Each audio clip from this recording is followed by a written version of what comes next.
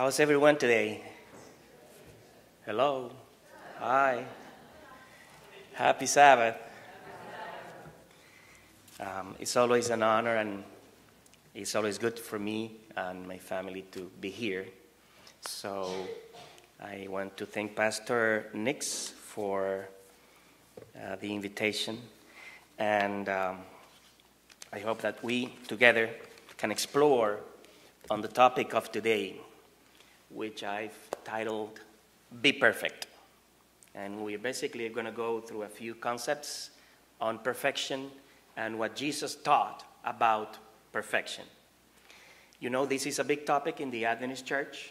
Uh, we consider ourselves as being uh, people um, with blessed light, expanded uh, knowledge about the biblical truths.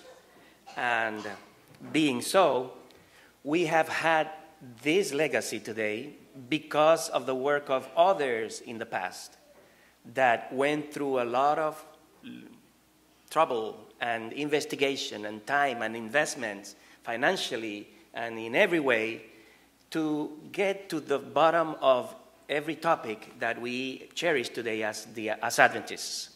And uh, uh, uh, being honest with you, uh, this is a very hard topic to take in a short time. Maybe one day we can have a couple of hours at least in one afternoon to talk about this topic. And um,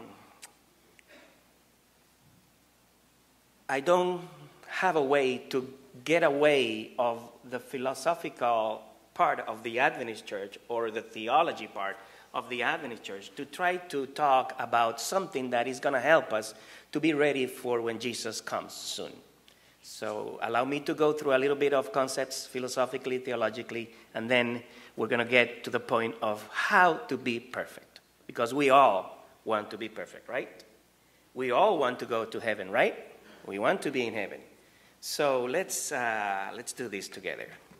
Let's bow our heads so we can have a short prayer.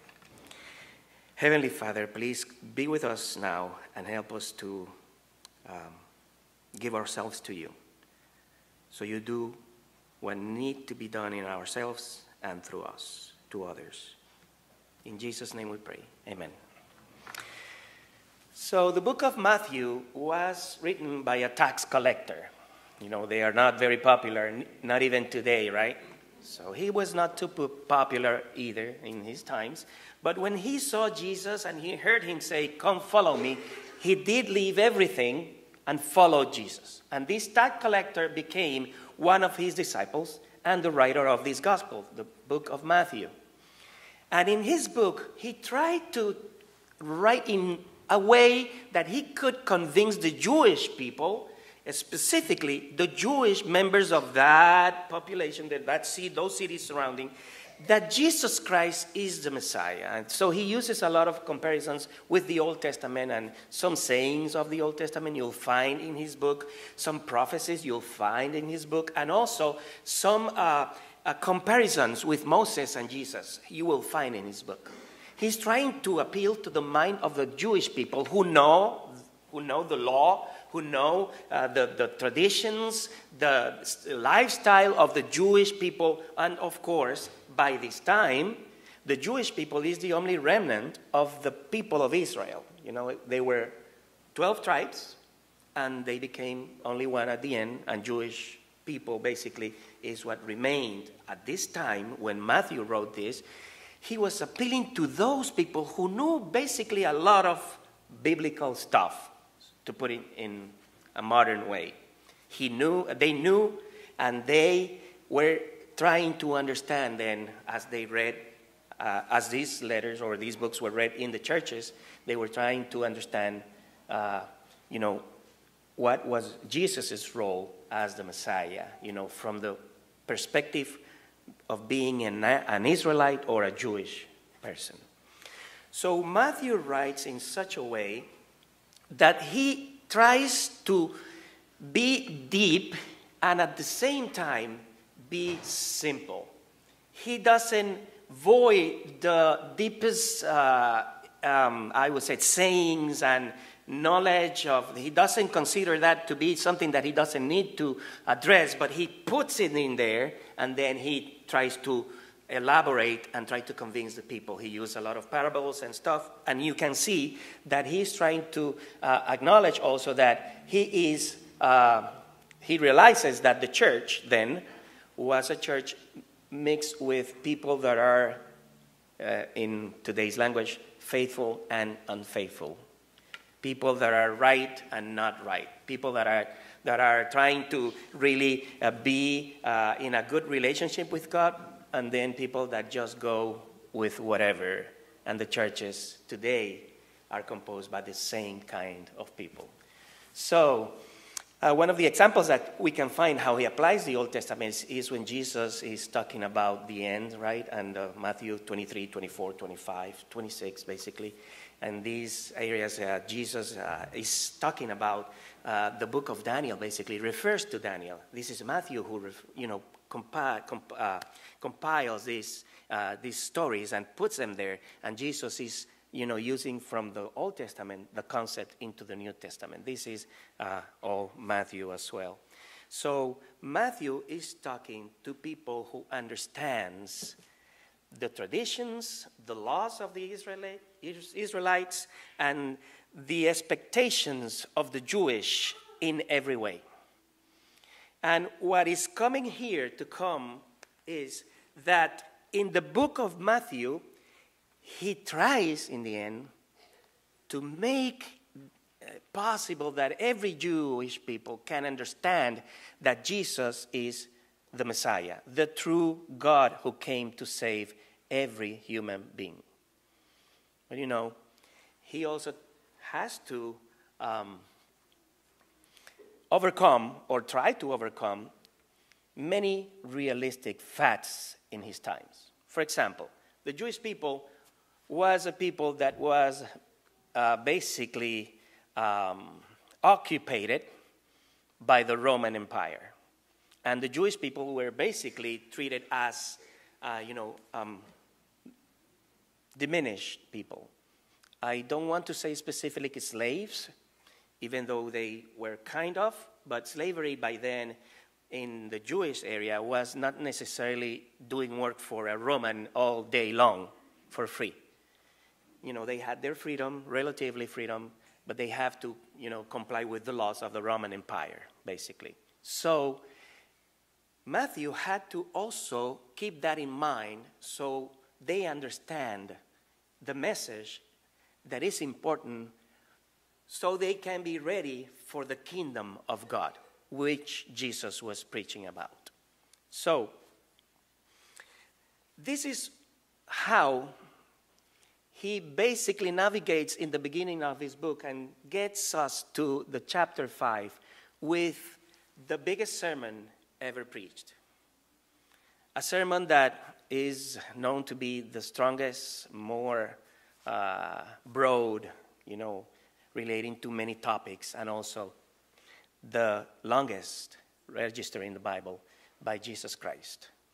And in this sermon, we find rules that had to do specifically with the new kingdom, meaning that all the Jewish people that were living then with the old way of thinking, thinking that the Roman people were all enemies, that the Roman people were all bad, you know, generally speaking, that anybody who was not a Jewish was somebody that had to stay away from them. They were the chosen, they were the special people to God. They kept, uh, you know, uh, basically preserved the religion, the true religion of the world. So they were these people that yes, we're special. Yes, we're going to, to have the Messiah from them given and give it, give him to the world. But at the same time, the Jewish people now we're going to have to understand the new rules of the kingdom. That's why you hear or read in the book of Matthew many times when Jesus says, You heard that this is how it was before, or this is what it was said but I tell you this and this and that. This happens many times uh, in the book of Matthew. And Jesus, with the new kingdom, is trying to establish the rules of every citizen that is going to be part of this kingdom. And if you notice, even from the beginning, even in the book of Matthew that was dedicated to Jewish uh, audience, even then, even in that book, you can see that Jesus is trying to make a big, big change in the mindset of any Jewish or related to Jewish or Judaism. Trying to let them know that the kingdom of God is not only for the Jewish people, but for every single inhabitant of the planet, for everyone. Jesus opens a door that had never been touched, and he starts preaching a message that is going to change everything that new rules, new laws, new concepts, new ideas that, is that, that this is going to change forever. Religion, specifically the religion that Jesus himself established. So, in the book of Matthew, chapter 5, where the Sermon of the Mount starts, is where we find this idea of perfection taught by Jesus Christ. But let me first mention that in the Old Testament, we also have an idea of perfection. And I want to read a paragraph. Allow me to do this, please. Uh, from a short article written by Kyle Butt and Doctrinal Matters. He's talking about uh, the concept of perfection in the Bible. Uh, and he says, a brief study of the original word quickly shows that the Hebrew and Greek words that frequently are translated perfect in the English Bibles do not always mean sinlessness. Basically, he's saying, right? The original word in Hebrew, which is tam, and the, the, uh, the original word in, in Greek in the New Testament, which is teleos, are not necessarily meaning sinlessness. Meaning, is, it doesn't mean that you have no sin what does it mean then? He continues to say, in their monumental work, their theological word book of the Old Testament, Harris, Archer, he cites, and Waltke address specifically the word used in the book of Job 1.1, the Hebrew word tom. And is, this word is translated as perfect, but, he continues to say, doesn't necessarily mean this, but this means integrity of mind or innocence and with this integrity of mind.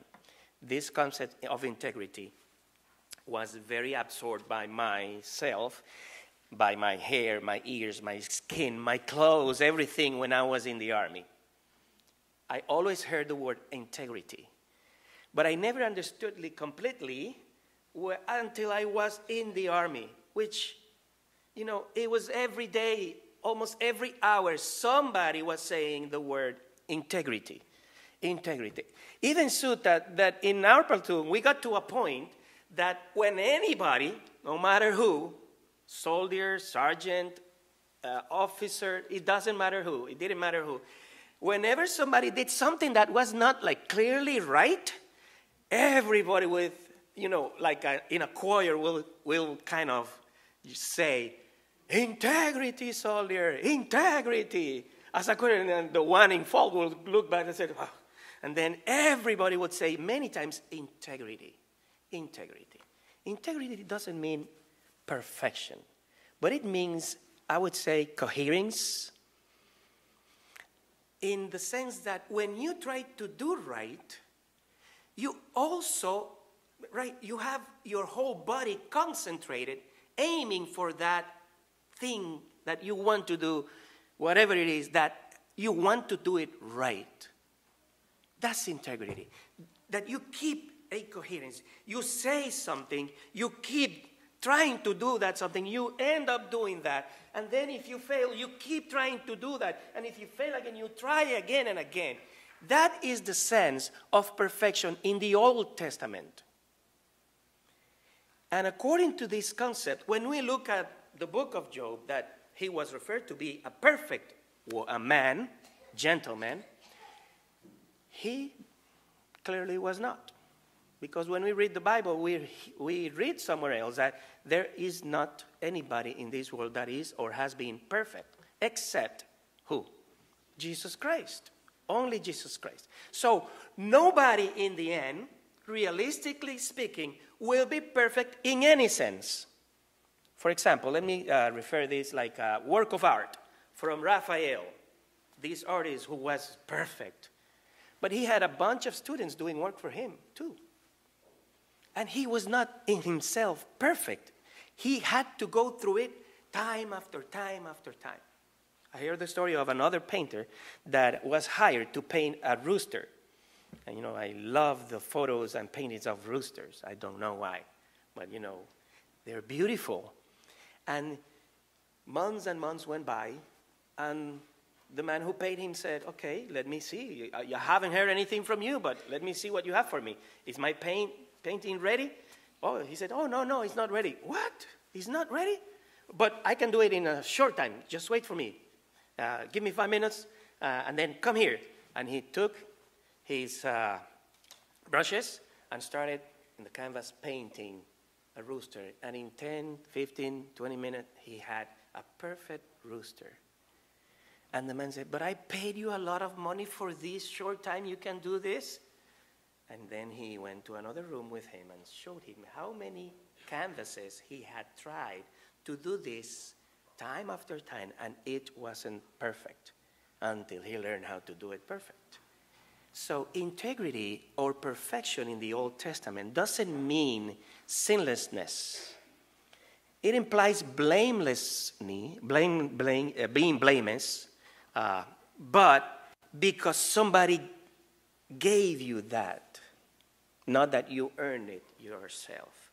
In the New Testament, then, we have another idea of perfection, and it has to do with love based on the teachings of Jesus. But when we talk about perfection in the Adventist church specifically, we come to a point where we had to stop and think a little bit about this concept of, of perfection in the Adventist church. And um, we all want to be perfect. Again, we all aim to be perfect. We require of others to be perfect. It's even harder to have kids, and as you raise them, you, you do everything possible so they be perfect. And we look at the mirror, we look at the family, and we say, we say we're not perfect and I don't think we'll ever be. What am I doing? Am I fooling myself, expecting every day that everything is perfect? But you know, we try. We try very hard, seriously, we try. But as we understand why, at this point in life, some people think that we have to be perfect before we go to heaven, it is impossible. I had a professor from Mexico when I was doing my bachelor's in theology, in theology in Dominican. I was very young, very, uh, I don't know, I, I, I really give my soul to everything I try to do. Anyways, he told me one day, Ricardo, you know, we don't have to be perfect. We are still on this side of the millennium. And I said, well, What do you mean? Yes, Jesus comes and then millennia, the millennium starts, right? But if we are before the millennium, Jesus is not here yet. He has not made us perfect. So we are not perfect. We won't be perfect, but we try, yes. But we are on this side of the millennium. Now, I want to be perfect. We aim, we have to, I believe that we have to aim to be perfect. But what happens when we, frust- we are frustrated because we don't achieve perfection and we hardly see anybody being perfect? So, how can we be perfect? What is the, the teaching of Jesus about perfection? Let me please touch now a little bit about the philosophy of perfection in our church and the theology. uh, Waggoner and Jones, pioneers of our church, they thought that in order to go to heaven, we had to be perfect in every conduct. That means in our behavior. We had to be perfect. This set kind of a foundation for M.L. Andreasen, who was a theologian in the Adventist church that was prominent in the 1920s and on up to the 50s. M.L. Andreasen, who wrote, uh, he wrote a book, uh, and in, this, in his book, basically, he said that before Jesus gets back to the earth, somebody, somewhere in the planet Earth, will have to be perfect fulfilling the law or keeping the law. And only then, after one person, person at least is perfect, then Jesus will come to earth and take us all to heaven. And this was called the last generation theology. I don't know if you've heard of that. This is something that is in our history, very, very rich times theologically, since the end of the 1800s and all the way up to the 50s, early 50s.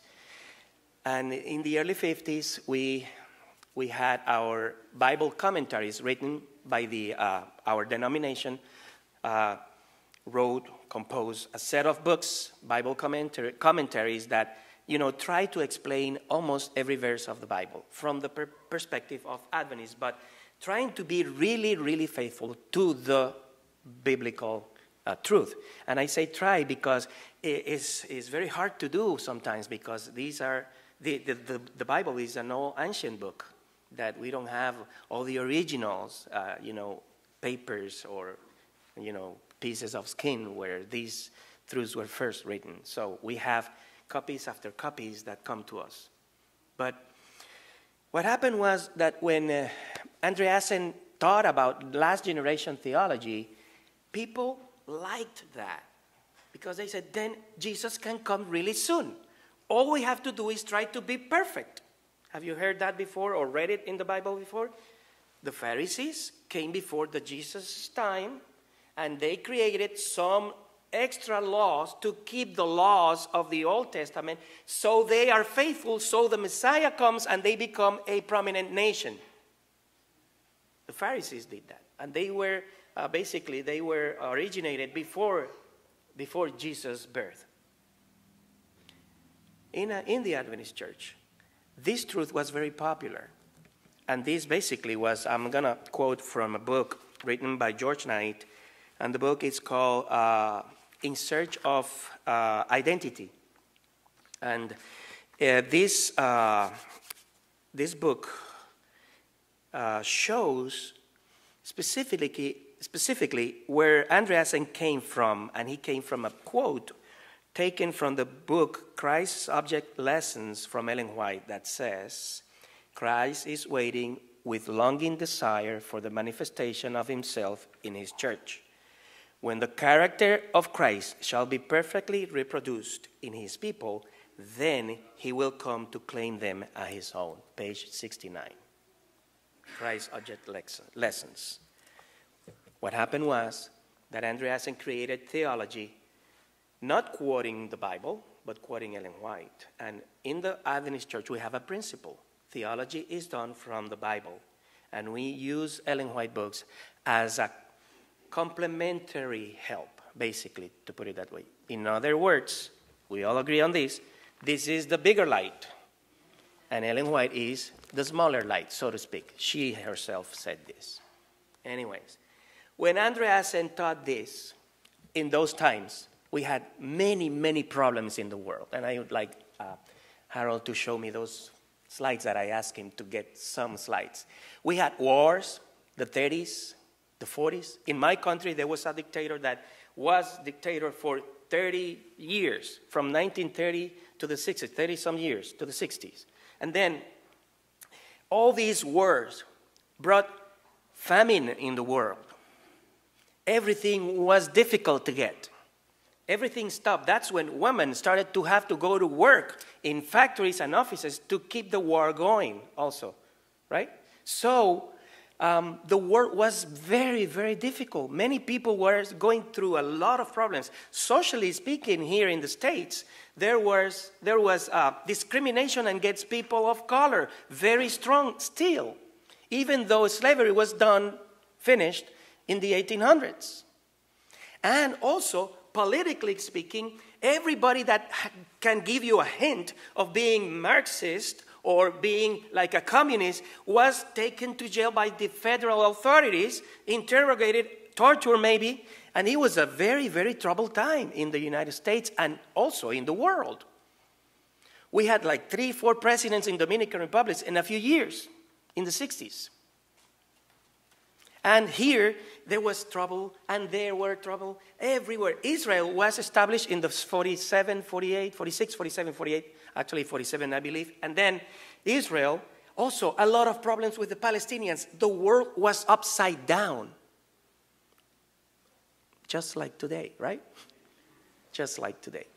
But then, with all these, the evangelicals heard that the Adventists were having a theology based not on the Bible, but in the writings of Ellen White. And they said, the Adventist church is a cult. I don't know if you remember those times.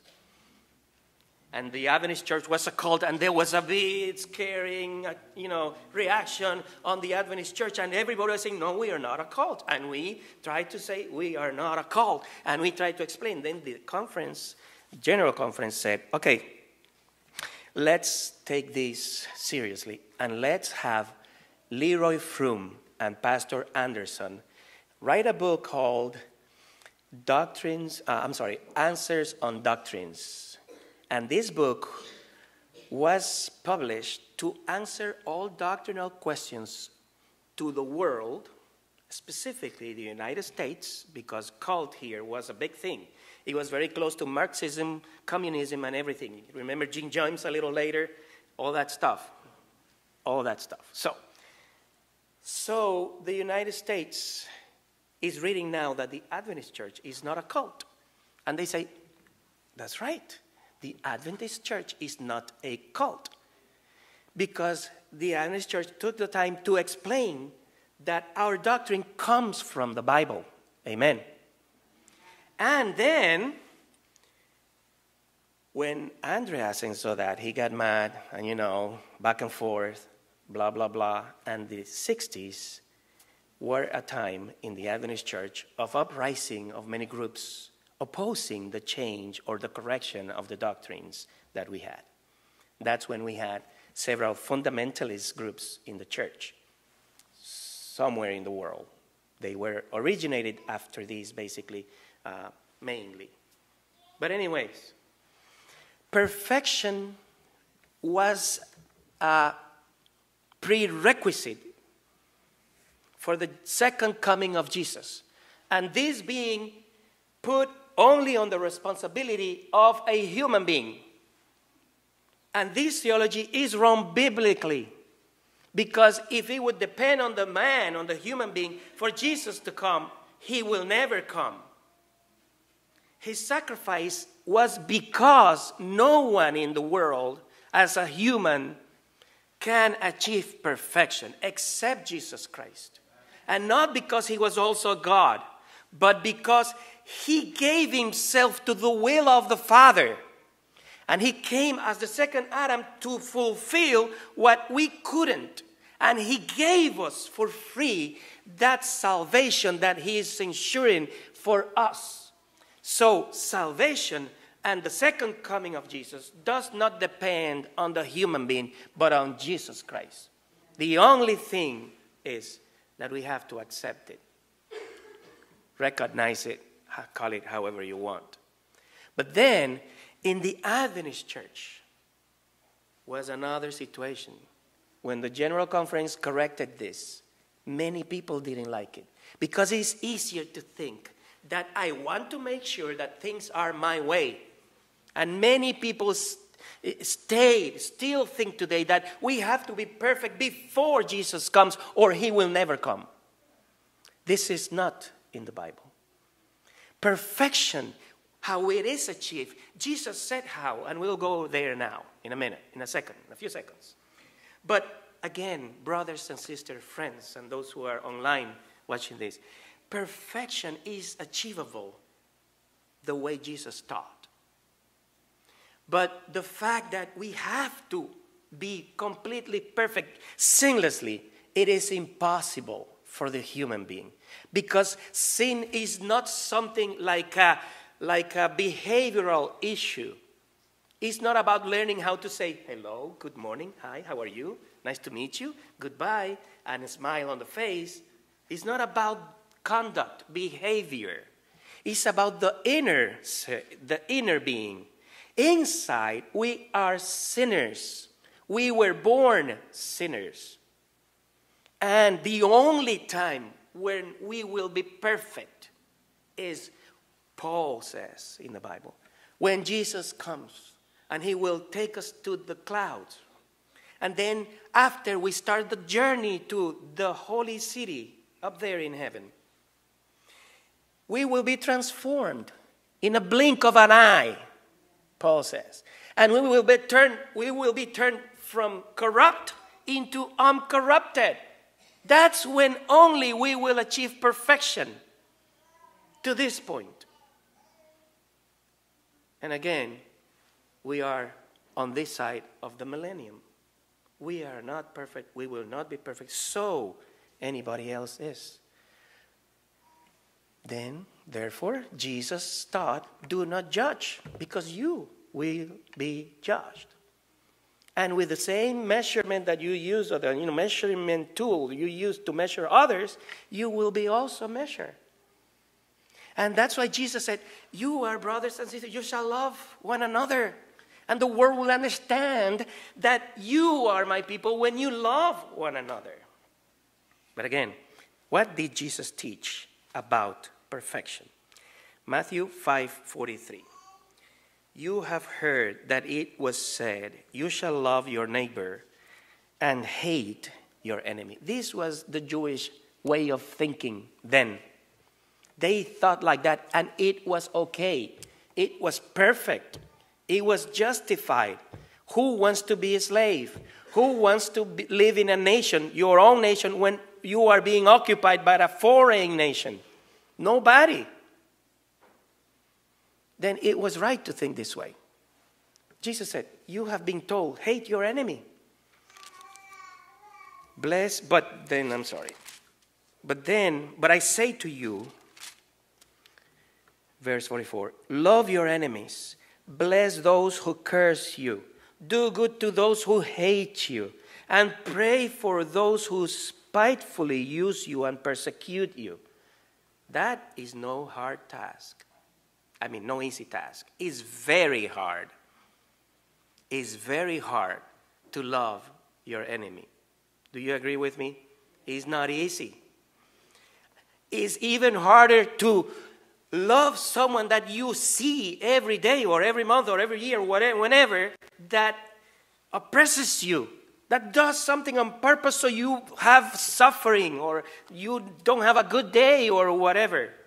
That is not easy. But the new rule from the kingdom in the Sermon of the Mount says, Love those who persecute you, love your enemy. That is the new rule. And he continues to say, That you may be sons of your fathers in heaven. Um, I don't know if you have noticed, but in the maybe over a year and a half or so, people have started to talk on, the, on social media about what does it really mean to be son or sons of God. Have you noticed that topic somewhere? You know, some people have talked about it a lot. I mean, and it's a big deal in some circles. People expand and say and say, and they try to establish who is a son of God or daughter and who is not. Jesus said this. It's clear. He says, Love your enemies. Pray for those who curse you. Do good to those who hate you. And pray for those who spitefully use you and persecute you, that you may be sons of your Father in heaven. For he makes his sun rise on the evil and on the good, and sends rain on the just and on the unjust. For if you love those who love you, what reward have you? That's easy. To love who loves me, that's a given. See, somebody says hello to me, it's easy to say hello back.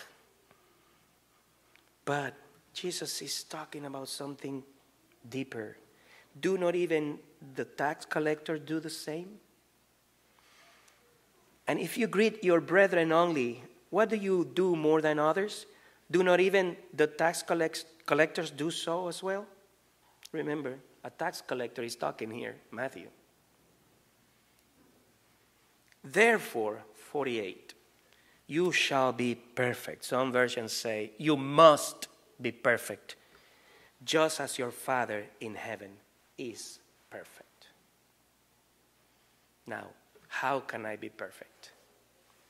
Well, I just uh, want to say a few more things before we go home today. But listen, every time big events happen, like the ones we've been through since 2020 pandemic, war, injustices, famine, scarceness of mainly everything, unbalancing, you know, all industries have delays on everything because everything is not the same since 2020.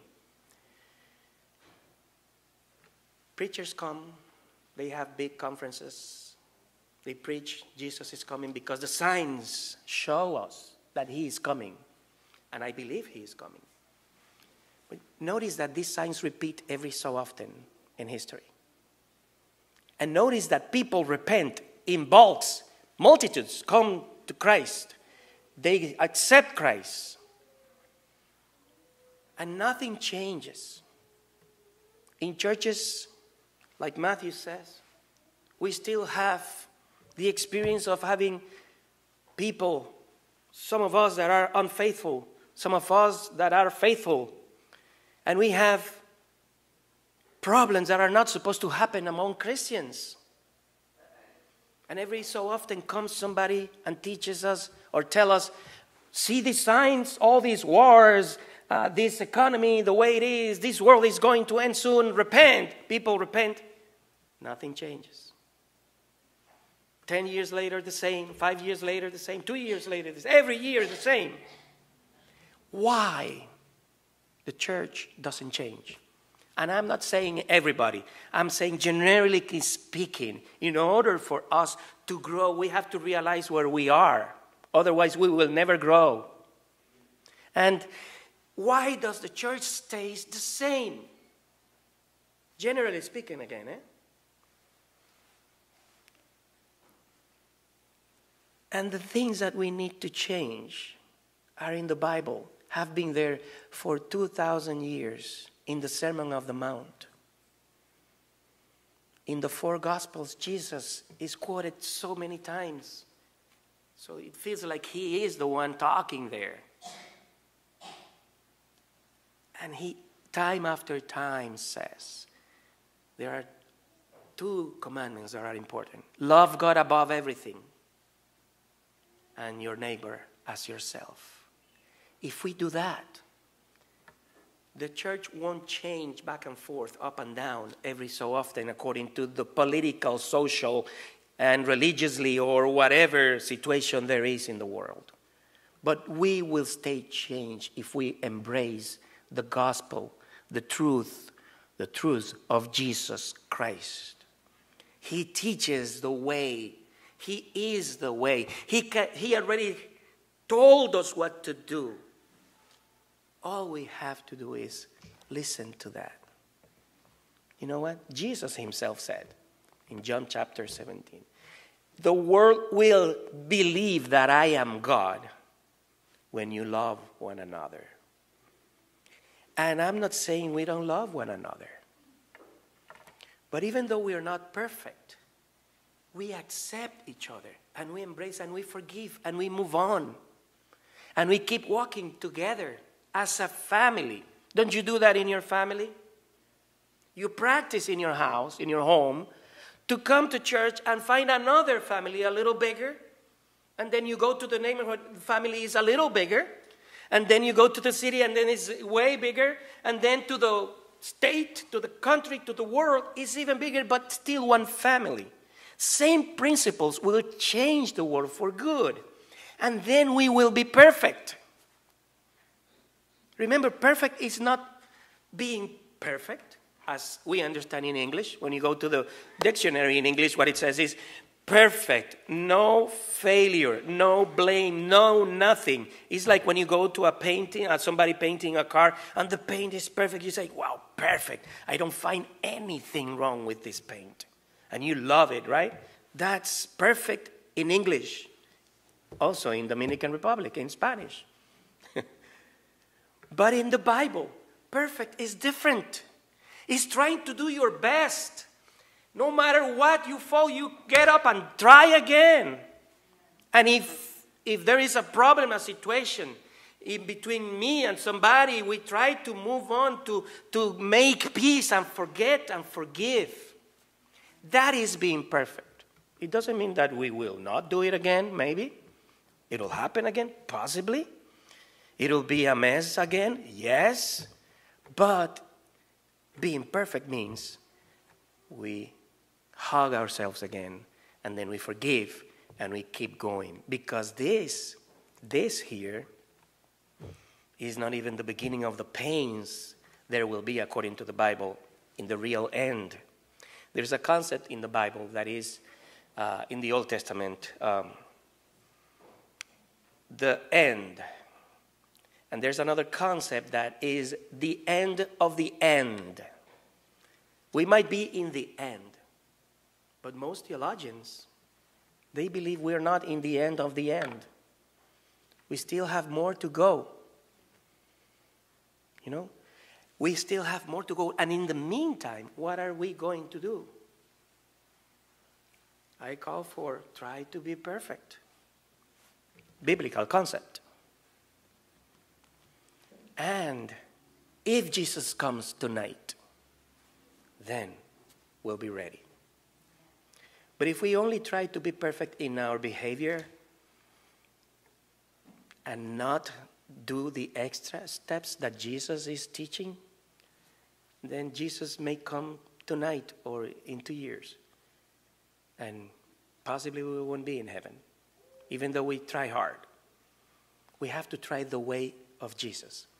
You know, he gave the Old Testament and he came and explained it. We really need not much more. He was the giver, then he taught it, and then he, he preached it, he lived it. What else? You know, sorry to do this, but I, I do it in a funny way, you know what I mean? We have to understand these simple principles are powerful and they may make us perfect if we let it, if we let them. So may God bless us and may God help us to be perfect and help others to enjoy that perfection as we go along together in this struggle until He comes. May God bless you.